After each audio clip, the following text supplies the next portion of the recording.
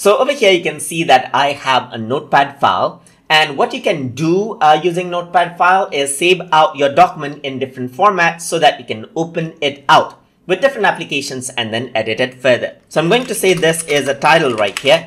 And then I'm going to type in this is a paragraph just like this and what I'm going to do is I'm going to copy this and paste this out right here, just like this. So I got a bunch of title right here, some paragraphs as well.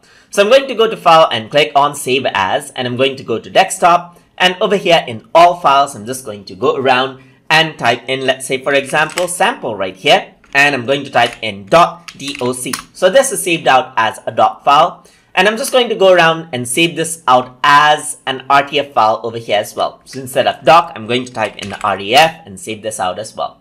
Once I close this, you can see that now there's an RTF file right here and there's a doc file. So if I were to double click on this, you can see that now my notepad text opens up with WordPad and what I can do now is apply formattings to this just like I would in WordPad file and save it out. So I'm just going to save this and there you go. Similarly for the doc, you can double click and open it up with Microsoft Word and there you go. It opens up with Microsoft Word file, mm, uh, Word application now.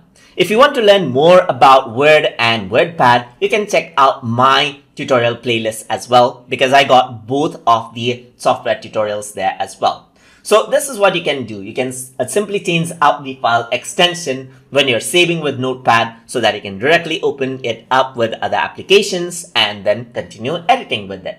So hope you guys learned something as always. And as always, please like, comment, share, and subscribe.